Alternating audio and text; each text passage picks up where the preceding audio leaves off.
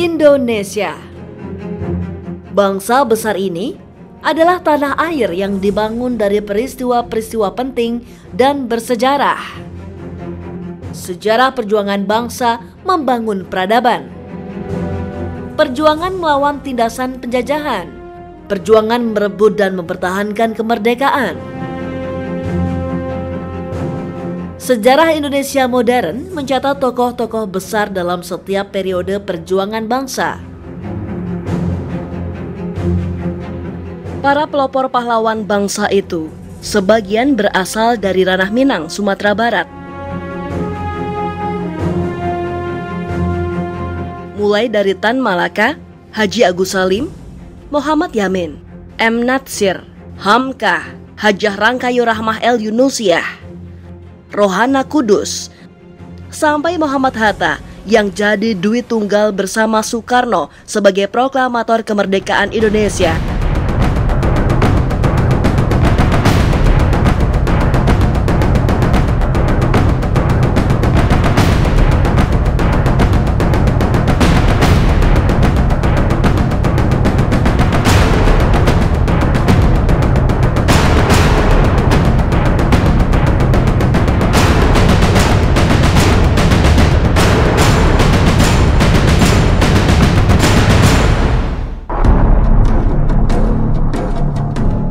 Tan Malaka.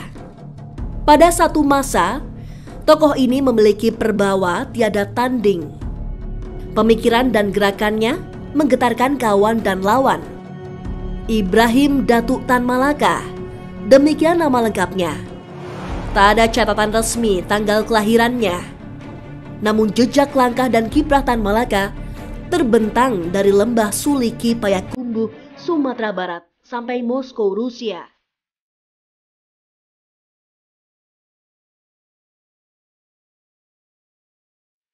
Tan Malaka adalah musuh besar bagi kaum kolonial.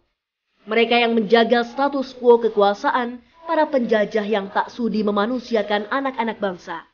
Itulah sebabnya Tan Malaka terus diburu dan jadi klandestin di sebelas negara.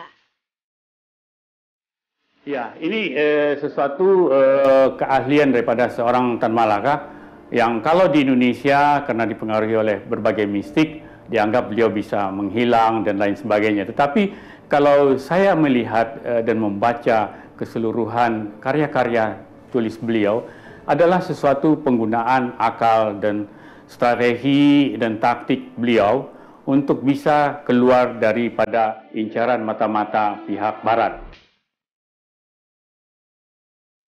Penjajahan barat yang berlangsung selama berabad-abad tidak bisa dilawan hanya dengan senjata dan aksi massa. Tan Malaka membekali diri dengan rupa-rupa strategi dan kemampuan. Mulai dari penguasaan terhadap enam bahasa asing, seperti Belanda, Inggris, Jerman, Rusia, Tagalog, dan Mandarin. Sampai kelihayan menyamar dan kesanggupan melakoni sekian jenis pekerjaan.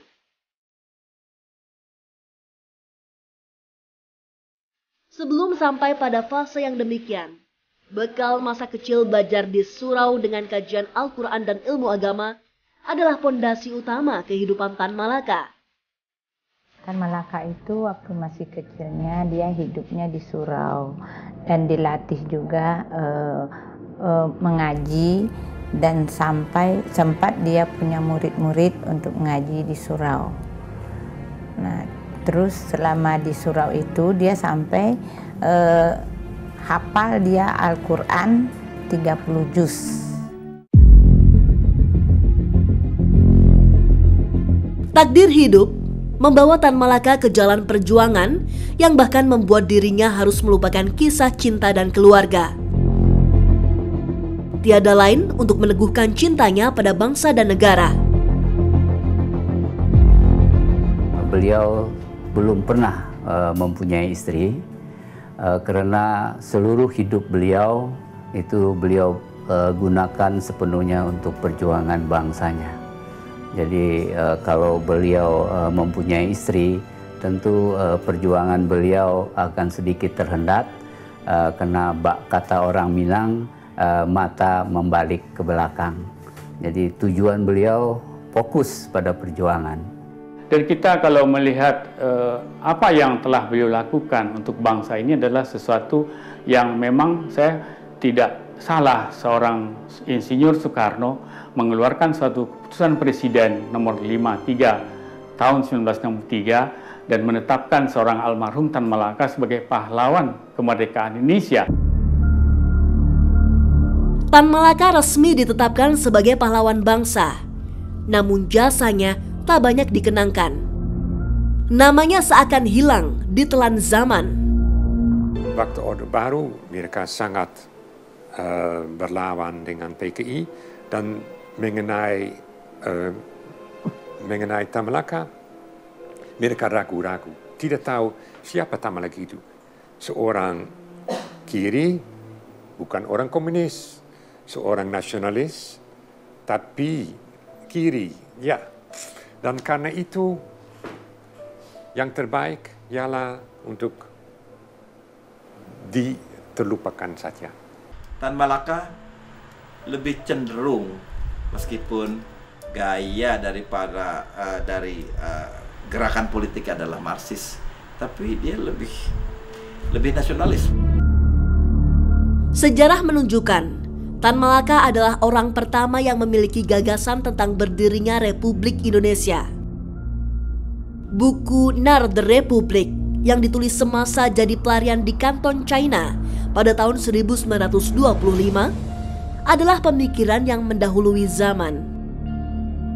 Pada masa itu, semangat kebangsaan bahkan masih dalam konsolidasi untuk terwujudnya kesadaran nasional. Namun Tan Malaka telah jauh memikirkan republik sebagai perwujudan berdirinya negara dan bangsa. Setelah Tan Malaka, Muhammad Hatta kemudian menulis Indonesia Free atau Indonesia Merdeka di pengadilan Belanda pada 1928. Demikian juga dengan Soekarno yang terinspirasi tulisan Tan Malaka. Soekarno menulis pidato Indonesia Menggugat pada 1930 dan buku Menuju Indonesia Merdeka pada 1938. Paling tidak ada dua hal buku yang atau referensi yang dipakai oleh Soekarno itu Max Forming dan Masa Aksi. Keduanya adalah selebaran atau buku yang di, ditulis oleh Tan Malaka yang sampai ke tanah air dan saya rasa mem, membuat inspirasi-inspirasi daripada perjuangan Soekarno sendiri. Banyak tokoh pergerakan kemerdekaan yang mengagumi konsep tulisan Tan Malaka. Maka tidak salah jika Muhammad Yamin menjuluki Tan Malaka sebagai Bapak Republik. Namun peristiwa-peristiwa genting dalam lini masa negeri ini menunjukkan betapa sejarah adalah juga pertarungan ideologi dan kepentingan. Sebagaimana Tan Malaka, nama besar yang bahkan jadi tokoh pertama penggagas republik. 26 buku ia tulis untuk menggerakkan perjuangan. 11 negara menjadikannya sebagai buronan. Tak terhitung waktu yang dihabiskannya di penjara dan pengasingan mulai dari Eropa sampai Asia Tenggara. Sampai kemudian, gelar resmi sebagai pahlawan nasional diberikan kepadanya. Akan tetapi, nama Tan Malaka tetaplah diliputi misteri dan kontroversi sampai sekian generasi anak-anak bangsa negeri ini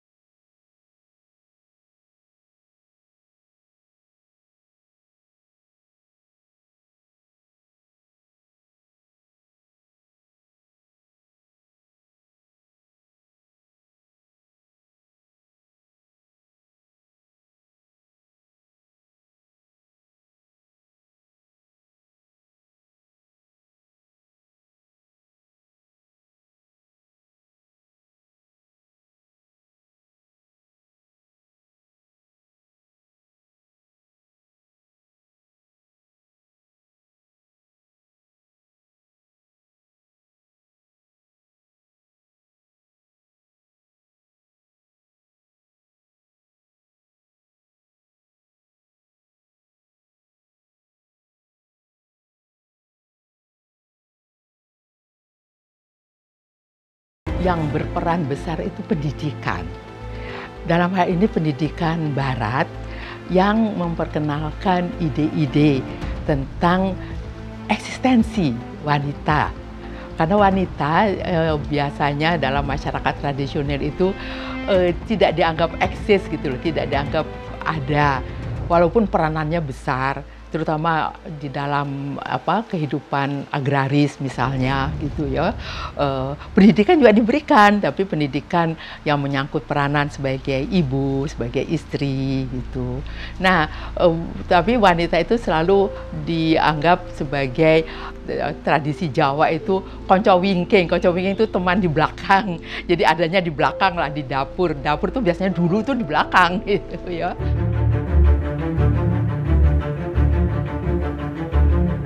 Di Sumatera Barat, muncul sekolah perempuan bernama Diniyah Putri yang didirikan oleh Hajah Rangkayo Rahmah El Yunusiah.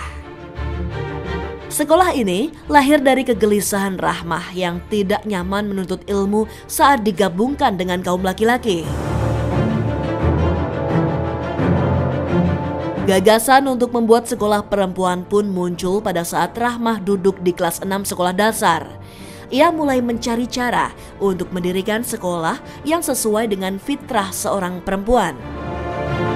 Ide tersebut baru terwujud pada 1 November 1923. Rahmah membuka madrasah diniyah Li Albanat. Ia pun merangkap menjadi pengajar dan pimpinan sekolah.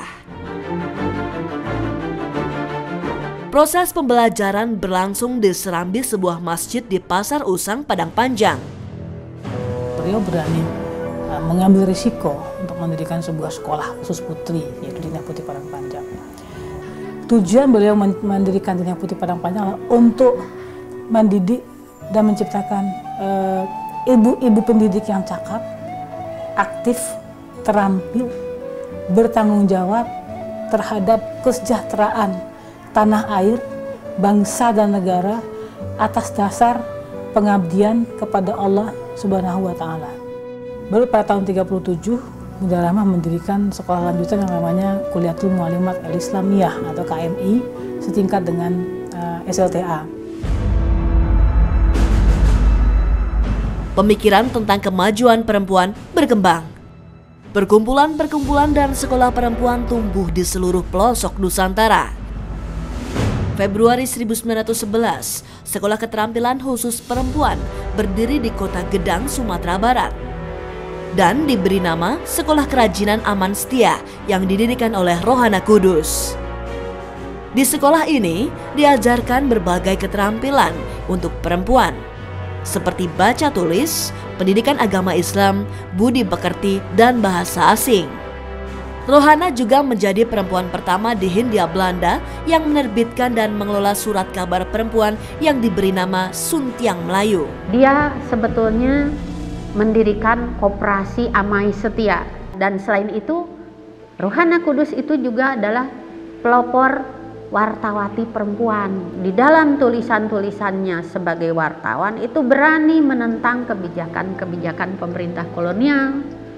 Nah, Rohana Kudus ya namun eh, tentu saja eh, dalam hal ini eh, harus kita eh, usulkan juga bahwa Rohana Kudus itu meskipun eh, apa tidak mendirikan sekolah tapi itu sama itu eh, dengan dengan berita-berita yang ditulisnya itu ingin me, apa kesetaraan kesetaraan dan e, tentu saja mengangkat harkat martabat bukan hanya perempuan tapi bangsa Indonesia. Tak hanya itu, Rohana menjadi pelopor berdirinya dapur umum dan badan sosial untuk membantu para gerilyawan. Ia juga mencetuskan ide penyelundupan senjata dengan cara menyembunyikan dalam sayuran dan buah.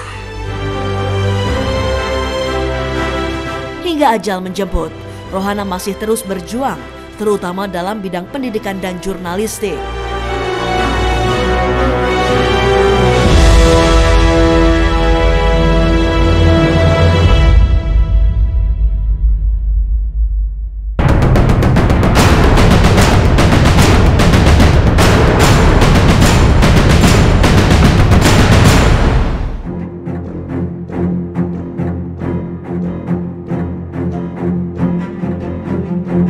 Tokoh muslim berikutnya dari ranah Minang yang berjuang membangun kebangkitan nasional adalah Haji Agus Salim. Haji Agus Salim lahir dengan nama Musyudul Haq yang bermakna pembela kebenaran di Koto Gadang, Agam, Sumatera Barat pada 8 Oktober 1884. Ia mulai menimba ilmu di sekolah dasar paling bergengsi di era kolonial yakni Europeische Lagere School atau ELS yang jadi sekolah khusus untuk anak-anak keturunan Eropa. Diperbolehkannya Agus Salim bersekolah di ELS tidak lain karena ayah Agus Salim adalah seorang jaksa jabatan kelas atas bagi pribumi pada era itu. Bakat istimewa Agus Salim sejak kecil adalah kemampuannya pada penguasaan bahasa-bahasa asing. Pada tahun 1903, Agus Salim menamatkan pendidikan di Hochburger School atau HBS di Jakarta dengan predikat lulusan terbaik. Ya karena dia yang terbaik ya, oh, yang terbaik tak tamat sehingga ada yang mengusulkan supaya dia sebaiknya dapat beasiswa. Tapi kelemahannya dikatakan ucapan Belanda tidak begitu bagus sehingga biasanya ya biasa saja itu alasan dia tidak diberi. Barangkali Belanda juga curiga dengan dia. Padahal sebenarnya ayahnya adalah Hofjaksa. Salim itu Hofjaksa. Sebenarnya dia berhak juga, tapi tidak dikasih oleh, oleh Belanda dan dia tidak mau minta-minta. Uh, Ketika Kartini uh, mengatakan berikanlah beasiswa untuk saya itu untuk Salim. Salim menolak. Kalau pemerintah akan beri pada saya, beri, beri saya. Masa saya harus menggantikan orang lain? Nah, dia agak sombong juga dia. Agus Salim berteguh menolak beasiswa sekolah kedokteran di Belanda yang dialihkan dari beasiswa RA Kartini. Ia kemudian bekerja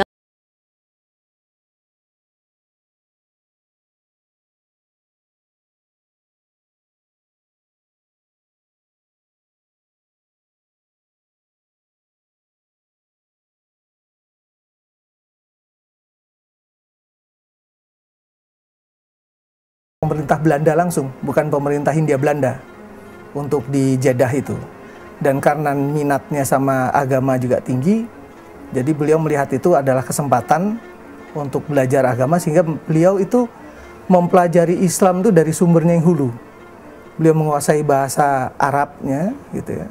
Kemudian juga melihat peribadatan di sana ya. Kemudian juga beliau itu banyak menggali dari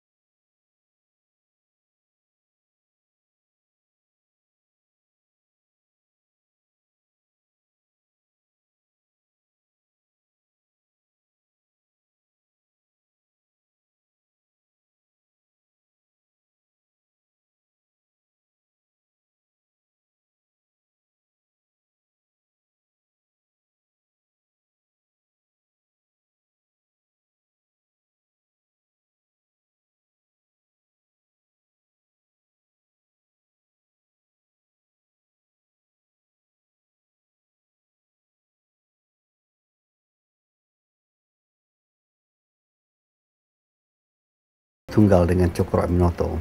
Ya. Uh, Cokro Aminoto itu adalah orator ya, yang hebat, sedangkan Haji Agus Salim sering dianggap sebagai pemikir.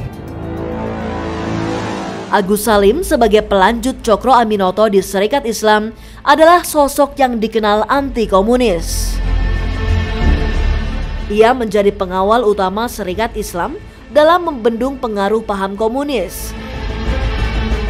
Sampai kemudian orang-orang merah atau komunis keluar dari SI dan kemudian mendirikan gerakan baru yang kemudian menjelma menjadi PKI.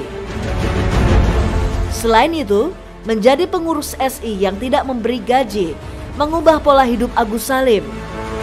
Semula ia bisa bermewah-mewah dengan gaji pegawai pemerintah. Setelah menjadi aktivis politik, hidupnya berubah sedemikian sederhana dari kerja jurnalistiknya. Keteguhan dan prinsip hidup inilah yang kemudian membentuk pribadi Agus Salim sebagai diplomat dan pejabat yang tak bisa dibeli dengan materi.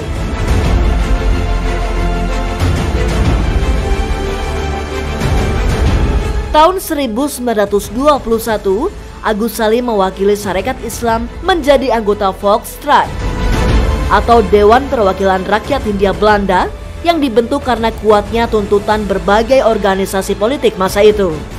Agus Salim menjadi orang pertama yang menggunakan bahasa Indonesia atau ketika itu bernama bahasa Melayu dalam sidang Volksraad.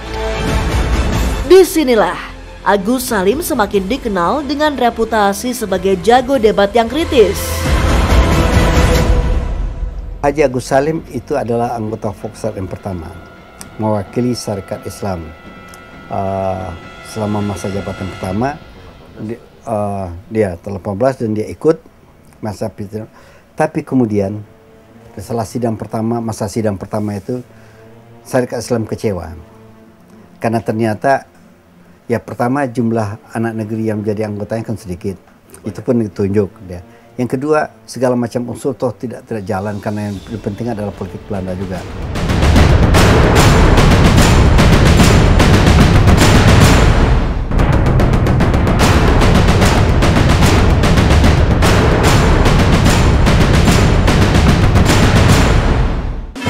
Kedatangan Jepang membawa perubahan dalam kehidupan politik dan pergerakan di Indonesia. Pemerintah militer Jepang melarang seluruh organisasi politik yang sebelumnya ada di era Hindia Belanda. Agus Salim yang dikenal sebagai tokoh kritis di masa Hindia Belanda, kemudian direkrut Jepang sebagai pegawai senior di Shumubu. Semacam kantor urusan agama di bawah pemerintahan militer Jepang di Indonesia. Agus Salim bertugas sebagai penerjemah buku agama Islam dan mengajarkan agama Islam di sejumlah perguruan tinggi Islam di Indonesia. Peran penting Agus Salim di masa pendudukan Jepang ini adalah dengan menjadi anggota Badan Penyelidik Usaha Persiapan Kemerdekaan Indonesia atau BPUPKI. Ia bahkan masuk sebagai panitia 9 tim kecil perumusan Undang-Undang Dasar Republik Indonesia. Keahlian bahasa yang dimiliki Agus Salim juga membuat dirinya memiliki peran penting menjadi penghalus bahasa dalam penyusunan batang tubuh Undang-Undang Dasar 1945. Kami, bangsa Indonesia, dengan ini menyatakan kemerdekaan Indonesia. Kemerdekaan Indonesia tidak membuat perjuangan anak bangsa berhenti. Sebaliknya, seluruh rakyat Indonesia berjuang habis-habisan melawan Belanda yang datang dan mau menjajah negeri ini lagi. Perjuangan bersenjata dilakukan oleh seluruh lapisan masyarakat di seluruh wilayah Indonesia. Sementara itu, perjuangan diplomatik tidak kalah penting untuk menjaga eksistensi dan kedaulatan bangsa.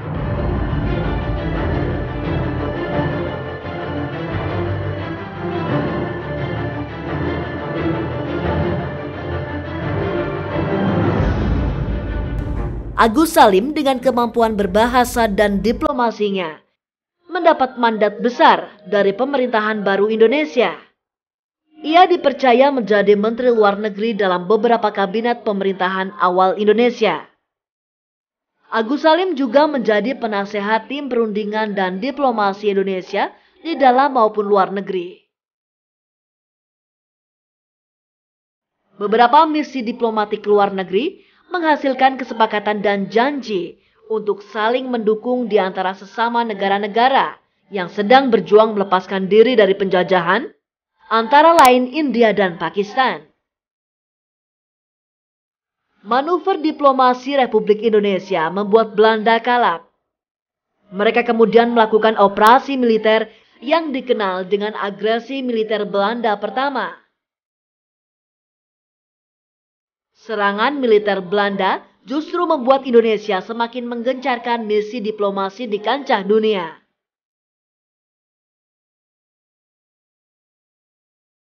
Agus Salim selaku Menteri Luar Negeri memimpin delegasi Indonesia ke Timur Tengah. Berkat kepiawaiannya berbahasa Arab dan adab Islam yang mengesankan dari Agus Salim, Indonesia berhasil memperoleh pengakuan formal dan dukungan moral kemerdekaan dari negara-negara Arab.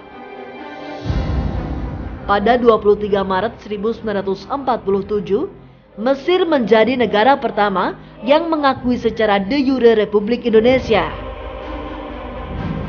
Langkah itu diikuti negara-negara Arab lainnya, seperti Lebanon, Suriah, Irak, Arab Saudi, dan Yaman.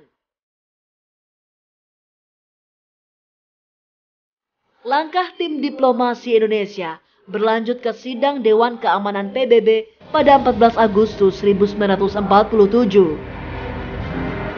Tim diplomasi Indonesia dipimpin oleh Sultan Syahrir, didampingi Agus Salim, Sumitro Joyo Hadikusumo, Sujat Moko, dan Charles Tambu. Langkah diplomasi inilah yang menjadi jalan penting bagi pengakuan kedaulatan Republik Indonesia oleh Belanda dua tahun kemudian melalui konferensi meja bundar. Dilihat oleh generasi yang lebih muda sebagai guru yang yang bisa memahami apa keinginan. Dan dia tidak pernah mengajari harus begini harus begitu. Tapi lebih dulu memberi kesempatan bagi anak muda untuk berbuat sampai sampai kalau kesalahan baru diberitahu. Dan ini semua yang pernah merasakan didikan Aja Gusal mengatakan yang sama. Baik Pak Rum, Muhammad Rum, baik Pak Nasir. Jadi Salim lebih banyak bersifat uh, memberikan kesempatan bagi anak-anak muda untuk ber, ber, berkembang.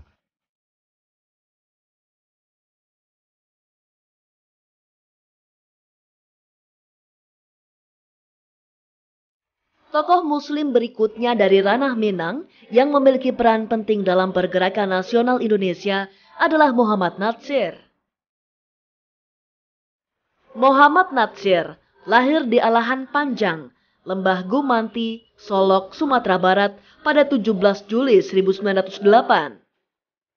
Natsir menempuh masa pendidikan di era yang penuh dengan semangat kebangkitan nasional. Ia tidak ketinggalan ikut terlibat dengan organisasi-organisasi politik pemuda masa itu. Pertama-tama, ia bergabung dengan Young Islamiatan Bond atau JIP dan Young Sumatrani Bond atau JSB. Natsir kemudian melanjutkan studi ke Bandung, yakni di Al-Khemene Middlebury School atau AMS. Di sinilah cakrawala pemikirannya tentang agama dan nasionalisme berkembang pesat. Ia berhubungan baik dan kerap bertukar pikiran dengan tokoh-tokoh Islam terkemuka seperti Agus Salim, sesama rantau dari ranah Minang. Nama Natsir menjadi semakin dikenal saat dia bergabung dengan Majelis Islam A'la Indonesia atau MIAI pada masa pendudukan Jepang. MIAI adalah badan federasi partai dan ormas Islam yang dibentuk Kiai Haji Hashim Ash'ari pada September 1937. Organisasi ini adalah cikal bakal organisasi politik Majelis Syuro Muslimin Indonesia atau Masyumi yang bertujuan menyatukan seluruh umat Islam Indonesia dan menghindari konflik antar umat beragama. Natsir menjadikan Masyumi sebagai rumah bagi ideologinya. pada tahun 1946 hingga 1949. Dia diangkat sebagai Menteri Penerangan mewakili Partai Masyumi. Pada tahun 1949, Natsir terpilih menjadi Ketua Umum Masyumi. Pada masa inilah, konflik antara Natsir dan Soekarno memanas. Berawal dari peristiwa bom Cikini yang mengancam jiwa anak-anak Soekarno pada 30 November 1957, Masyumi yang saat itu menjadi partai besar dan berseberangan dengan Soekarno menjadi tertuduh. Tahun 1960, Soekarno membubarkan Masyumi dengan tuduhan Masyumi bersekutu dengan gerakan pemberontak, yaitu Pemerintah Revolusioner Republik Indonesia atau PRRI Sumatera Barat. Natsir pun ikut pula menjadi tertuduh. Karena situasi Jakarta sudah sedemikian rupa dan kelihatan daerah sudah bergolak ya antara dipimpin oleh pimpinan militer daerah. Nah Pak Nasir dan teman-teman merasa berkewajiban untuk meredam itu, jangan sampai ada pemisahan daerah bermisahkan diri. Karena Pak Nasir yang memutuskan uh, NKRI, masa Pak Nasir akan misahkan lagi kan.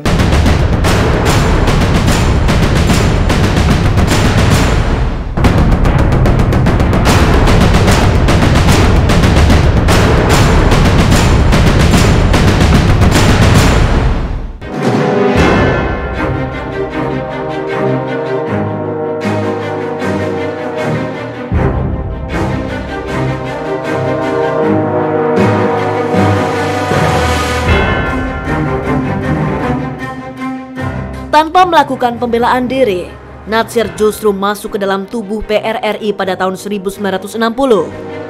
Tujuannya meredam segala konflik yang tengah terjadi dengan jalan damai tanpa harus melalui peperangan. Natsir beserta keluarganya kemudian ikut pula bergerilya di belantara hutan Sumatera Barat. Turut bersamanya sekitar 35 orang tokoh masyumi lainnya. Jadi menyingkirkan diri supaya jangan ditangkap oleh pemerintah pusat. Saya kalau ditangkap itu jalannya satu saja antara dua ditembak mati atau di, dibawa. Itu berarti kekalahan. Konflik di antara sesama anak bangsa ini akhirnya berhenti. Soekarno memberikan amnesti dan abolisi kepada seluruh anggota PRRI dan Permesta. Natsir kembali ke Jakarta Alih-alih bisa melanjutkan karir politiknya, Natsir malah diasingkan ke Medan, kemudian ke Malang pada tahun 1960-an. Pengasingan ini tidak lain karena keteguhan Natsir yang menjadikan ajaran Islam sebagai pedoman politik dalam seluruh sendi kehidupan. Kepemimpinan Soekarno berganti dengan kepemimpinan Soeharto.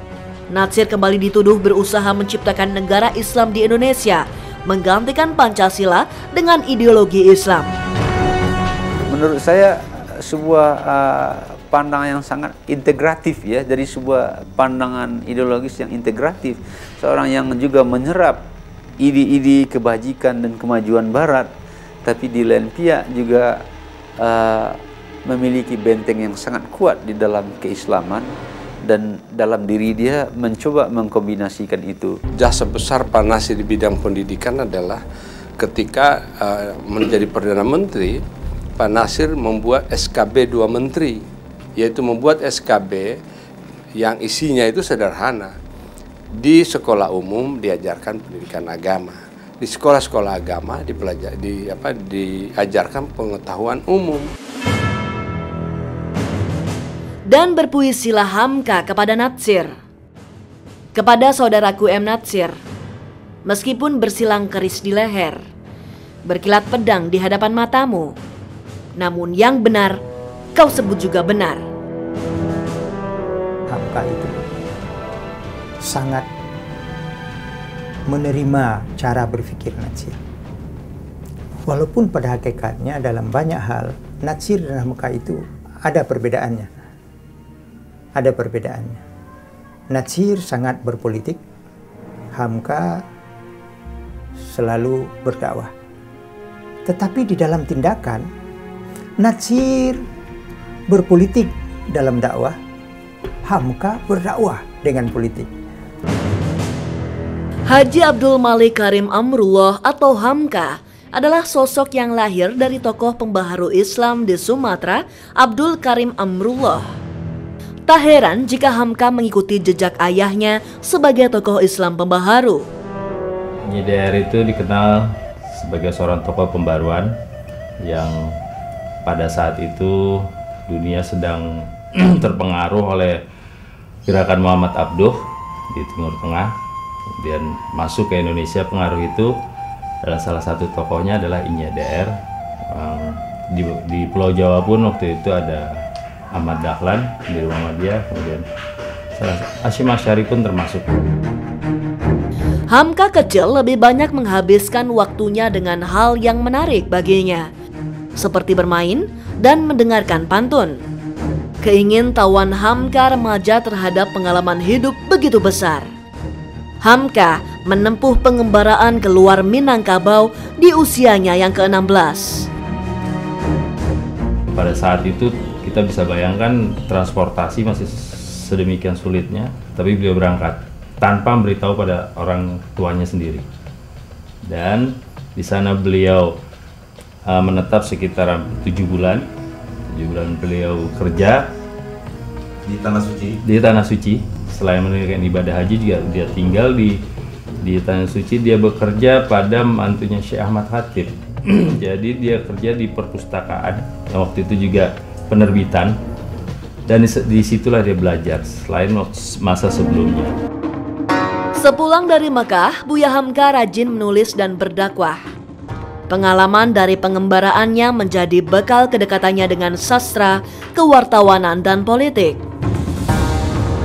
26 Juli 1975, pemerintah mendirikan Majelis Ulama Indonesia atau MUI. Buya Hamka terpilih sebagai ketuanya yang pertama. Nah, itulah dia akan ragu-ragu. Gimana ini? Ya untuk menolak nggak bisa. Nah, untuk ikut mengiyakan dia merokok. Ini payah saya dipergunakan. Lalu saya bilang sama dia ya ikut aja apa kita bantu. Nah, nanti kita lihatlah perkembangan kita tidak bisa menolak begitu saja kan dia orang kuasa ini Soeharto dengan militernya lalu dia terima dan memang kelihatan susah dia mengendalikan apa diri dalam memimpin Majelis Ulama Indonesia. Di satu pihak dia bilang, oh dia sudah antek sesuatu. Di pihak lain, ah dia sudah berkhianat dan sebagainya. Ada pula yang katakan dia mesti melakukan tugasnya di tempat mana dalam keadaan apa pun. Nah, itu adanya kehebatan. Demikian dilakukan Buya Hamka dengan seluruh sendi kehidupan ditumbuhkannya saling penghargaan antara agama dan ilmu pengetahuan, antara agama dan perilaku hidup di alam modern, antara agama dan kebangsaan, dan antara agama dengan diri masing-masing. Buya Hamka mampu menerjemahkan nilai-nilai Islam ke dalam dunia sastra dan filsafat. Sehingga keduanya nampak akrab dalam karya-karya Hamka lebih dari 100 judul buku telah ditulis Hamka, selain juga ratusan tulisan pendek lainnya. Pemikiran Islam moderat Hamka tidak hanya diterima di Indonesia saja. Negara tetangga seperti Malaysia, Singapura, bahkan negara-negara di Timur Tengah pun ikut menghargainya. Dan saya rasa bangsa Indonesia pun selalu mengingat beliau, mengucapkan terima kasih atas semua hal yang pernah dilakukan. Saya ragu apakah saat ini ada orang sekali berharap. Setiap zaman melahirkan tokoh-tokoh besar yang menjadi pahlawan bagi tanah air dan bangsanya. Mereka yang membuka jalan dan berjuang untuk peradaban. Mulai dari Tan Malaka, Haji Agus Salim, Muhammad Yamin, M. Natsir, Hamka, Haji